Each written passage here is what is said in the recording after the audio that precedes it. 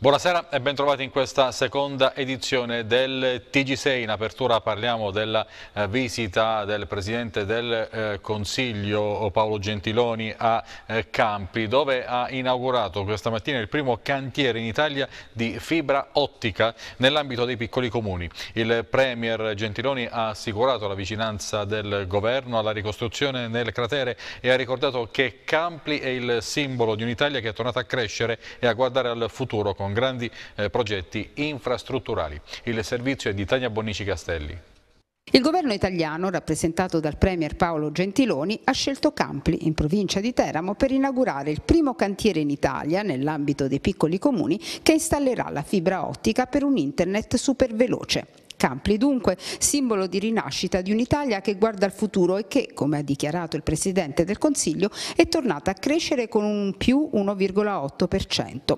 L'investimento complessivo dell'Open Fiber sull'intero territorio italiano si aggira intorno ai 7 miliardi di euro, con la creazione di oltre 10.000 posti di lavoro. Ma sentiamo il Premier Gentiloni. Io credo che non, non sfugga a nessuno il valore simbolico dell'inaugurazione che stiamo facendo questa mattina, che abbiamo fatto questa mattina. Perché da una parte eh, parliamo al luogo in cui ci troviamo, parliamo a Campli, parliamo alla zona del cratere colpita dal terremoto in Abruzzo e in generale alle aree colpite dal terremoto e dall'altra parte parliamo al Paese perché Cogliamo questa occasione per raccontare un progetto che sta incamminandosi e che ha il valore strategico di cui prima si è parlato. Campli è uno dei comuni colpiti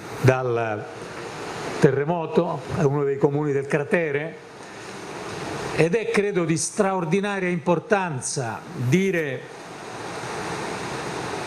grazie a chi ha lavorato a Open Fiber, ai suoi ingegneri, ai suoi tecnici, alle maestranze, agli operai dei cantieri senza i quali non si fanno queste operazioni e queste innovazioni, dirgli grazie perché lo hanno fatto esattamente qui, dimostrando che noi abbiamo bisogno nelle aree colpite dal terremoto certamente di far fronte all'emergenza, abbiamo bisogno certamente di ripristinare l'antico, di far tornare alla loro bellezza i borghi del nostro centro Italia colpiti dal terremoto con il loro patrimonio storico, con le loro ricchezze straordinarie, con la loro unicità, perché ogni comune ha le sue particolarità, con le loro tradizioni. So che a Campli oltre a grandi bellezze architettoniche c'è anche una tradizione gastronomica che si è fatta valere nel corso dei secoli addirittura e che va valorizzata e rilanciata. Ad accogliere il Presidente del Consiglio Gentiloni a Campli sotto una pioggia incessante c'erano il Presidente della Regione D'Alfonso, i sindaci, il Presidente della provincia di Teramo Renzo Di Sabatino, i parlamentari Paolo Tancredi e Federica Chiavaroli. Campli, ultraveloce, grazie alla fibra ottica, diventerà una spinta positiva alla ricostruzione di una provincia, quella teramana, gravemente danneggiata da un anno di eventi naturali. E su questo il Premier Gentiloni ha voluto rassicurare tutti, garantendo la vicinanza del governo. Benvenuto a Open Fiber a Campli e tanti auguri per il vostro lavoro dei prossimi due o tre anni che il governo guarderà con attenzione, con simpatia, con amicizia e anche con severità perché bisogna farle le cose che abbiamo fatto vedere oggi. Grazie.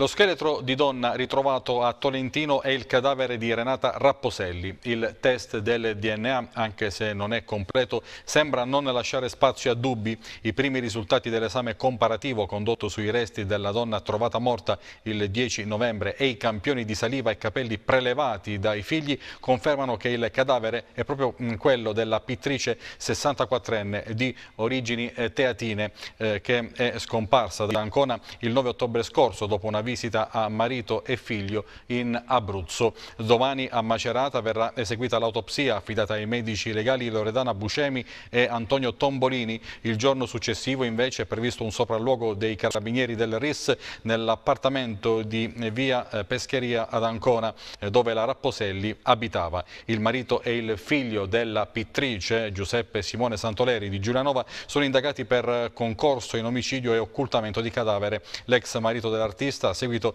dell'intossicazione da barbiturici avvenuta domenica sera, ehm, farmaci con i quali sembra abbia tentato il suicidio, è ancora ricoverato nel reparto di rianimazione dell'ospedale di Atri. Le sue condizioni sono serie. Cambiamo pagina, mentre si parla della nuova Pescara, torna d'attualità il tema di Pescara come capoluogo di regione. Tra i favorevoli eh, l'assessore ai grandi eventi del capoluogo adriatico Giacomo Cuzzi, il servizio è di Paolo Renzetti. Mentre si lavora anche dal punto di vista legislativo alla realizzazione della nuova Pescara, nelle ultime ore è tornato d'attualità anche il tema su Pescara capoluogo di regione. Tra i favorevoli l'assessore comunale ai grandi eventi Giacomo Cuzzi. Ma premesso che io sono favorevole affinché la politica si interroghi per la costruzione di un grande territorio urbano di questa area metropolitana che sia corrispondente alle esigenze di crescita futura eh, della nostra città e della città metropolitana. Credo che le tempistiche proposte dalla legge regionale siano troppo stringenti rispetto all'importanza della progettualità che non può essere un esperimento ma deve essere di fatto eh, una fusione che produrrà futuro per il il nostro territorio. Dopodiché eh, io non sono nemico di questo progetto, anzi credo che sia una grande opportunità, ma che va ampliato. Penso ad esempio ai comuni di Francavilla, di San Giovanni Tatino, che sono in quest'area continua metropolitana e credo che bisogna arrivare a 250.000 abitanti affinché si possano cogliere reali e vere opportunità. Questa cosa non, non piacerà sicuramente all'Aquila, agli aquilani, a quello che è oggi eh, il capoluogo di regione. Ma io sono un amico dell'Aquila e degli aquilani italiani eh, senza nulla togliere a loro, è la spinta necessaria che la, la, politica deve continuare a imprimere per ricostruire territorio e bellezza di quelle importanti città, però credo che qui stiamo discutendo di un'altra cosa, cioè una grande area metropolitana sulla costa che credo meriti il capoluogo di regione. Non è una provocazione, ma credo che possa essere il, pri il primo riconoscimento e poi penso che bisogna ampliare questa progettualità. Sospese le attività didattiche a Pescara e in altri comuni abruzzesi a seguito del bollettino sul maltempo diramato dalla Protezione Civile per i prossimi giorni. Scuole chiuse in diversi comuni abruzzesi in seguito al bollettino diramato dalla Protezione Civile regionale. Così nella giornata di domani, mercoledì 15 novembre, sono state sospese le attività didattiche a Pescara, a Spoltore, Montesivano e Città Sant'Angelo, attività didattiche sospese nel Teramano, a Roseto degli Abruzzi, Giulianova e Pineto. In questi comuni attivati anche i COC, centri operativi comunali. Il centro funzionale d'Abruzzo ha infatti comunicato che dalle ore 14 di oggi, martedì 14 novembre, alle ore 14 11 di giovedì 16 novembre è previsto codice rosso, criticità elevata, per rischio idraulico diffuso sulle zone di allerta bacini Tordino Momano, bacino del Pescara e codice arancione, criticità moderata, per rischio idraulico diffuso sulle zone di allerta bacino alto e basso del Sangro. Per domani previsto codice giallo, criticità ordinaria, per rischio idrogeologico localizzato sulle zone di allerta bacino della Terno e Marsica.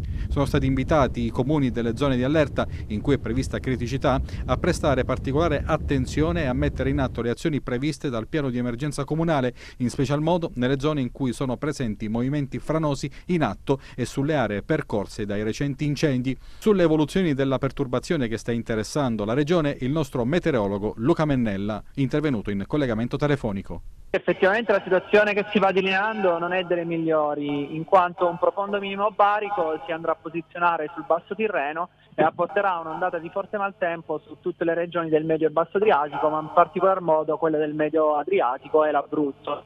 Su, in particolar modo sulla nostra regione sono previsti nel, nelle giornate di domani e di giovedì accumuli superiori ai 100 mm e quindi saranno possibili eh, eventuali disagi e tutto ciò che ne comporta da avere così abbondanti precipitazioni in un lasso di tempo così breve.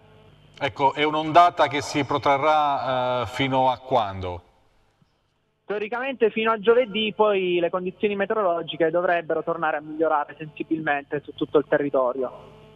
Ecco, ritieni che ehm, ci potranno essere dei eh, disagi, addirittura nel eh, bollettino eh, eh si ehm, invitano i comuni a effettuare eh, tutte le azioni previste dal piano di emergenza eh, comunale. Ci sono delle zone dell'Abruzzo che potranno essere interessate da alcune criticità? Sì, effettivamente sì, perché la quantità di pioggia prevista è notevole, di conseguenza bisogna stare attenti ai corsi fluviali e alle zone che si sa che sono soggette ad allagamenti. Dopo la manifestazione di sabato che ha visto la partecipazione di circa 3.000 persone, l'Osservatorio Indipendente sull'acqua del Gran Sasso chiede ancora alla Regione il tavolo tecnico sulla sicurezza dell'acquifero aperto alle associazioni ambientaliste. Alfredo Primante. Costituire un tavolo tecnico sulla sicurezza dell'acquifero del Gran Sasso aperto alle associazioni che compongono l'Osservatorio Indipendente sull'Acqua, e cioè WWF, Legambiente, Mountain Wilderness, Arci, Pronatura, Cittadinanza Attiva, Guardie Ambientali d'Italia, FIAB, CAI, Italia Nostra e FAI. È la richiesta diretta alla Regione che arriva dopo la manifestazione di sabato scorso a Teramo che ha visto la partecipazione di circa 3.000 persone per l'acqua trasparente. Le associazioni ambientaliste dicono di essere essere riconosciute dalla legge come portatrici di interessi collettivi e diffusi garantiti dalla Costituzione. Sul tema della partecipazione, sottolineano ancora gli ambientalisti, c'è un primo importante risultato. L'osservatorio è stato contattato dal segretario generale dell'autorità di distretto idrografico dell'Italia centrale, Erasmo D'Angelis, che ha sottolineato come sia fondamentale il coinvolgimento delle associazioni della società civile nel tavolo nazionale nato per discutere della messa in sicurezza dell'acquifero del Gran Sasso stesso.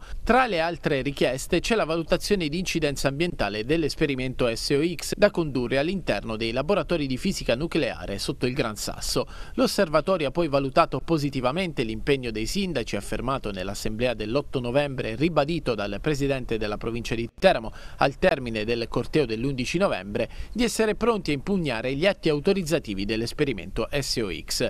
Le associazioni ambientaliste hanno affermato la necessità di mettere in campo una vera e propria strategia legale su tutti gli aspetti legati alle interferenze fra l'acquifero, l'autostrada e i laboratori del Gran Sasso affinché si possa garantire la salute degli oltre 700.000 abruzzesi che ogni giorno bevono l'acqua che arriva dalle pendici del Gran Sasso.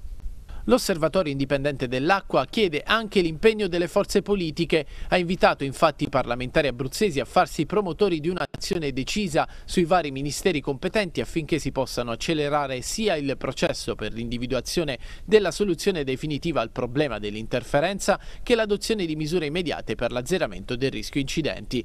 Infine l'Osservatorio sollecita il coinvolgimento delle commissioni ambiente di Camera e Senato e ha annunciato che nei prossimi giorni scriverà ai presidenti dei due organismi per approfondire la problematica dell'acquifero del Gran Sasso anche attraverso apposite audizioni.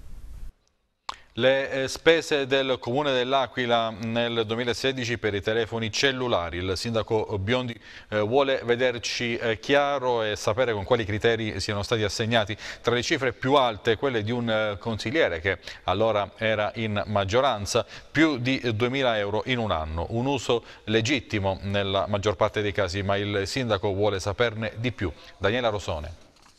30.000 euro per chiamate ai cellulari nel 2016 è quanto accaduto con i cellulari di servizio del Comune dell'Aquila ed è per questo che il sindaco Pierluigi Biondi ora vuole vederci chiaro ed ha inviato nei giorni scorsi una nota ai dirigenti Paola Giuliani, Fabrizio Giannangeli e Lucio Nardis. Ad anticipare il contenuto della missiva è stato il quotidiano Newstown. Il primo cittadino, in sostanza, chiede chiarimenti su come sono stati assegnati finora i telefoni in dotazione al personale dell'ente e ai membri della Giunta e del Consiglio Comunale. Insomma, un tentativo per vederci chiaro. Una lettera che ormai nel comune è quasi di dominio pubblico, in cui si evidenzia come nel 2016 siano stati spesi poco più che 30.000 euro per telefonia mobile. Una tabella dettagliata nella quale si può vedere quanto hanno speso i dirigenti, tecnici, ma non solo. Tra i membri della giunta, ad esempio, l'ex sindaco Cialente ha speso nel 2016 1.670 euro. Poi ci sono Fabio Pelini, ex assessore al sociale con 689 euro, Pietro Di Stefano, ex assessore alla ricostruzione con 518 euro, Betty Leone, ex assessore alla cultura con 387 euro, Emanuela Iorio, ex assessore allo sport con 330 euro, ma anche Pierluigi Mancini, assessore al commercio con soli 15 euro, esempio virtuosissimo. Tra le spese anche 443 euro di Alfredo Moroni, vicepresidente del Comitato Perdonanza. Un uso legittimo ovviamente questo del telefono cellulare per scopi politici e comunali, anzi dalle cifre appare un uso piuttosto ponderato della risorsa telefono del comune. Nulla di strano insomma fin qui. Più alte le cifre di membri del Consiglio Comunale, quella più alta risulta essere di Antonio Nardantonio con 2.736 euro in un anno. Nell'opposizione di allora, per citare degli esempi, Deramo ha speso solo 200 euro, Alessandro Piccinini e Guido Liris 72 euro a testa di sole sindati. Fa discutere anche il caso di un'utenza di Pasquale Corriere, inserito come consigliere comunale, anche se la carica non è stata ricoperta da lui nella scorsa consigliatura. Secondo questi dati avrebbe speso 227 euro del comune senza avere una carica. Una tabella però incompleta dove tanti assessori e consiglieri non figurano affatto e di questo si dovrà scoprire il perché. Resta la questione dei costi alti in un momento in cui invece ci sono tantissime offerte a prezzi davvero vantaggiosi e poi la questione venuta fuori, anche questa grazie al quotidiano Newstown, delle penne USB acquistate nel dopo sisma, 5.000 euro di chiavette che non sarebbero state mai usate. Ecco qui che la richiesta del sindaco Biondi appare più che legittima. Sono partiti a Pescara i lavori di riqualificazione della Riviera Nord. L'annuncio è stato dato dal vice sindaco Antonio Blasioli, 800.000 euro il costo dell'opera. Sono partiti ieri i lavori di riqualificazione della Riviera Nord di Pescara, lavori che termineranno a marzo, 800 mila euro l'importo di questa importante opera, Vice Sindaco Blasioli. Sì, è un'importante opera perché completiamo una riqualificazione almeno del tratto del lungomare nord, quello che va dallo stabilimento Adriatica fino a Gilda, quindi all'altezza di via Manzoni. Sono 511 metri lineari per 9 metri di larghezza di tutta diciamo, la passeggiata della Riviera Nord. Sono 800.000 euro di lavori, lavori necessari individuati in questo tratto perché il tratto più danneggiato è quello su cui non si era mai intervenuti. Abbiamo la disponibilità dei balneatori a rimuovere le loro strutture esterne, l'impresa Cardinale ha effettuato il 18% di ribasso e il travertino chiaro e la stessa geometria presente prima della nave di Cascella ci consentirà di riqualificare anche questo tratto di riviera. I lavori termineranno per marzo, per il 20 di marzo, e quindi diciamo, già per la primavera garantiremo insomma, una passeggiata più bella e decorosa anche in questa parte della città, non solo ai pescaresi ma anche a tutte quelle persone che verranno a pescare. La nostra è una riviera particolarmente apprezzata, abbiamo una passeggiata molto larga e in questo tratto, e quindi per 511 metri, sarà possibile riqualificare anche la pista ciclabile. La Fondazione Tiboni ha presentato oggi un master in fotografia e giornalismo rivolto a studenti laureati in scienza della comunicazione. È la prima volta che in Abruzzo c'è un master in fotografia e giornalismo con una formazione professionale di altissima qualità. L'idea era proprio eh, rivolgere questo master agli studenti universitari e creare la possibilità in Abruzzo per la prima volta eh, di avere un master con una qualità del genere. Punta di diamante del, del, master è appunto Gabriella Simoni che è qui con noi, che è inviata di, del TG5 e che ci spiegherà anche, sarà parte integrante del master e farà un workshop specifico su quello che è il suo lavoro di inviata e di giornalista. La caratteristica fondamentale è sempre la stessa da sempre e per sempre, la passione, la voglia di fare e la voglia di lavorare tantissimo. Oggi ci sono dei vantaggi, in primis la tecnologia e il costo dei, eh, dei, voli, dei viaggi, che un tempo invece costava moltissimo, era impossibile avere una telecamera, una telecamera costava quanto un appartamento, un viaggio costava un mese di lavoro. La cosa più importante è mantenere un filo rosso con quello che è sempre stato il, il, il, cardine di questo mestiere, cioè la passione, la voglia di andare in fondo, la voglia di capire e soprattutto uscire dalla logica delle strumentalizzazioni e non farsi guidare da quello che si pensa, ma cercare e vedere quello che si trova.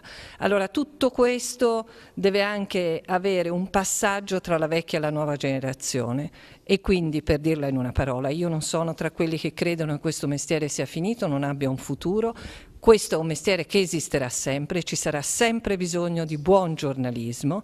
Oggi ci sono dei vantaggi e degli svantaggi, come ci sono sempre stati per chiunque e in qualunque epoca si sia stati giornalisti.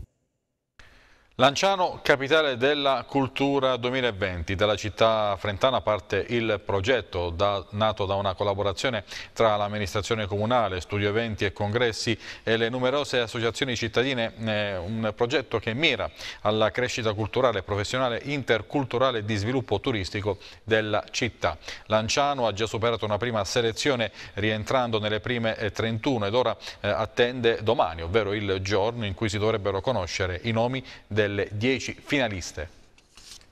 Lanciano è semifinalista assieme ad altre 30 città candidate a Capitale della Cultura Italiana 2020. Il primo step è stato superato. A metà novembre il Ministero dei Beni Culturali ne sceglierà solo 10 alle quali far proseguire la corsa fino al 31 gennaio prossimo, quando sarà individuata la città vincitrice. L'iniziativa è stata presentata dal sindaco Mario Pupillo come un piano regolatore della cultura adottato dall'ente, elaborato assieme a realtà imprenditoriali, associative amministrative istituzionali di Lanciano. Il progetto ambizioso è racchiuso in un dossier di 62 pagine dal titolo Lanciano città del miracolo, delle fiere e della musica, la cultura dell'anima.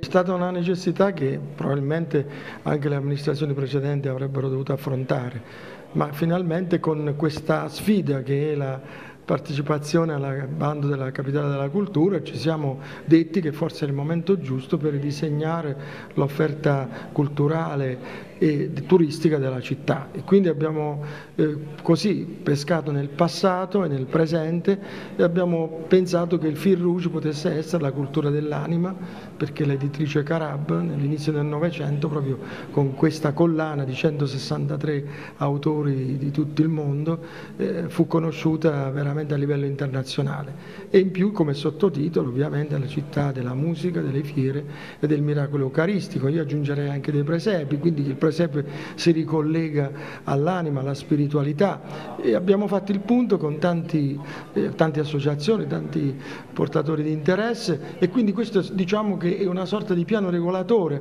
della cultura, del turismo che apriremo a prescindere se saremo selezionati fra i dieci eh, finalisti o se vinceremo, se dovessimo vincere, ma abbiamo concorrenze spietate, Parma, Siracusa, Salerno, però noi andremo avanti lo stesso, il 2018 sarà l'anno della verifica in cui avremo le osservazioni a questo piano regolatore e poi nel 2019 andremo, scegliendo le priorità, a fare eh, quegli aggiustamenti e quelle operazioni e quelle strategie che servono per far crescere Lanciano, perché noi siamo orgogliosi di avere una città straordinaria che però forse non abbiamo saputo far conoscere. Ed ora andiamo nel Pescarese a Pianella. L'Associazione di Protezione Civile Modavi ha organizzato un evento di beneficenza in favore della popolazione di Amatrice colpita dal sisma del 2016. Il eh, servizio della redazione di Vestina News. Emanuele Buffolano è il presidente Modavi nazionale, un'associazione di protezione civile, oggi qui a Pianella per questo evento di beneficenza per aiutare a far rinascere Amatrice. Noi siamo stati impegnati sin dal 24 agosto 2016 sui territori di Amatrice, ci siamo legati a questi territori dove noi abbiamo trascorso quattro mesi, quindi pensavamo che comunque fosse utile lasciare un aiuto a quelle popolazioni che abbiamo assistito, oltre nei campi anche lasciare un segno sul territorio donando loro una struttura che in accordo con il sindaco di Amatrice Sergio Pirozzi doneremo ai produttori locali ai produttori che hanno dei prodotti a marchio DECO, quindi prodotti tipici dei territori di Amatrice perché non hanno purtroppo neanche ancora gli spazi per far ripartire le produzioni e la vendita dei loro prodotti.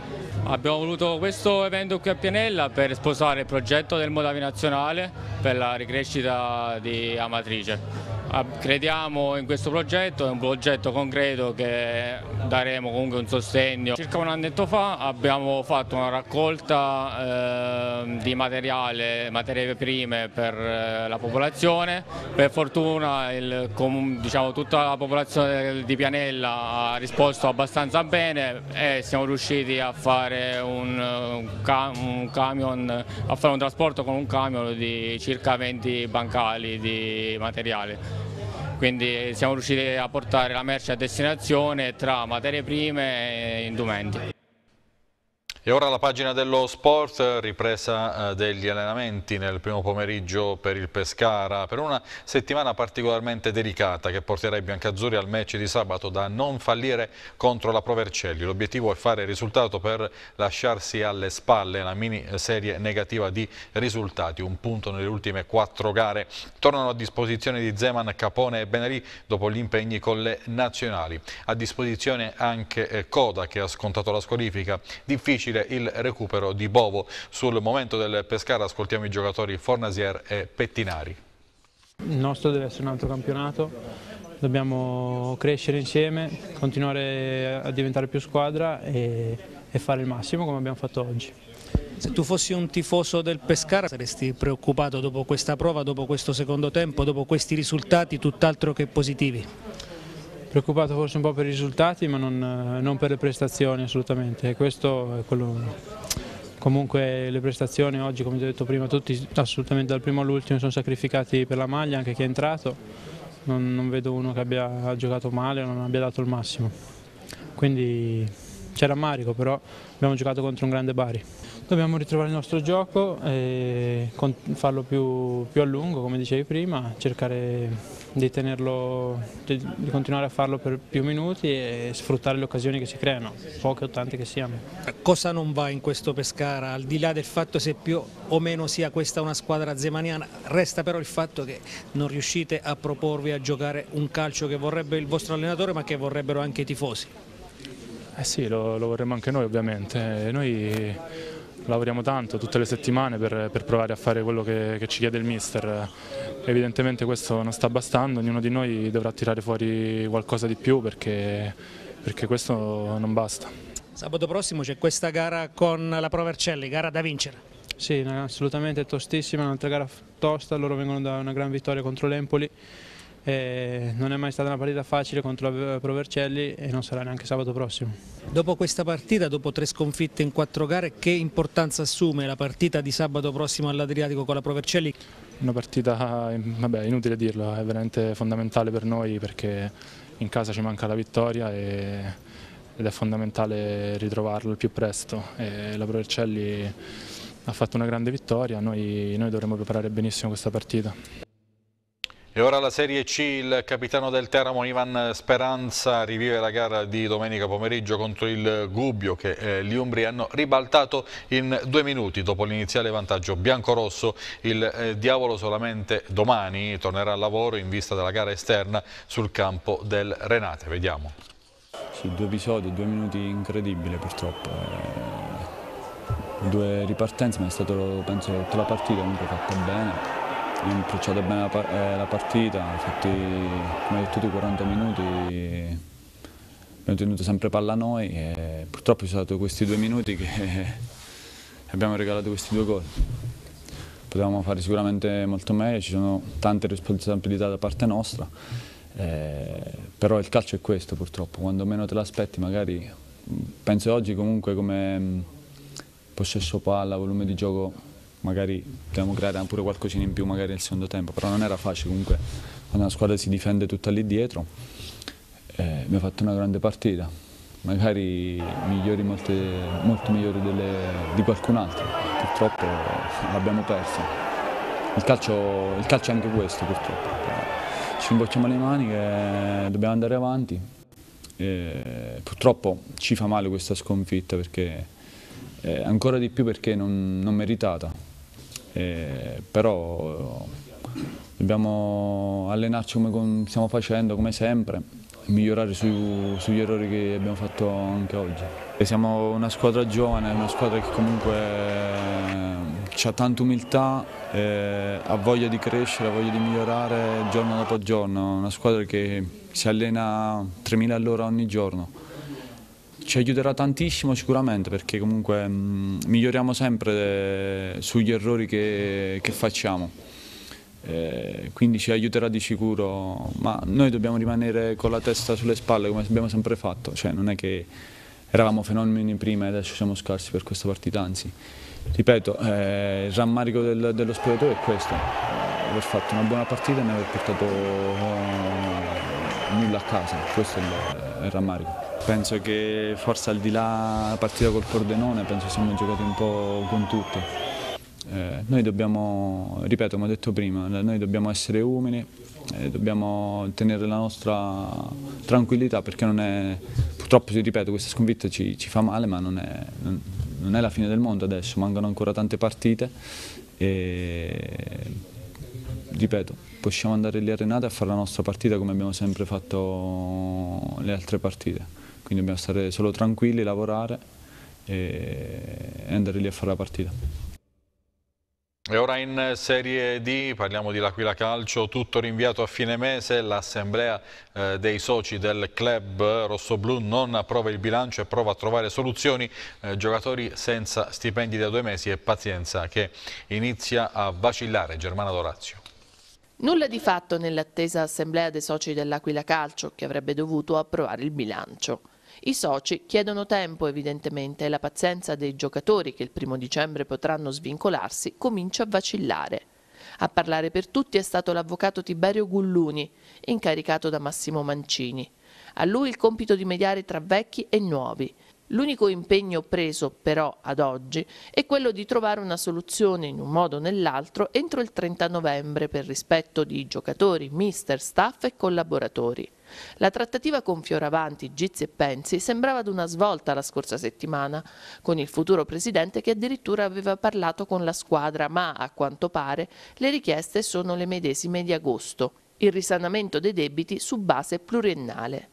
L'ipotesi del concordato pare non sia piaciuta ai nuovi e dunque Corrado Chiodi e compagni potranno anche avventurarsi nella gestione della stagione fino a giugno, ma a che prezzo? Si parla di un taglio nella squadra, voci ovviamente non confermate, che smantellerebbe un progetto tecnico vincente e che getterebbe ancora più nubi sulla vecchia proprietà.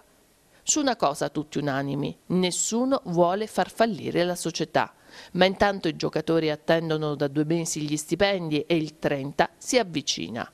L'avvocato Gulluni ha spiegato che si sta lavorando ad una revisione delle poste di bilancio, un'ulteriore ricognizione per vedere come si può alleggerire il passivo. Ranucci sfiduciato? Neanche a pensarlo, anche se alcune voci lo avevano fatto intuire.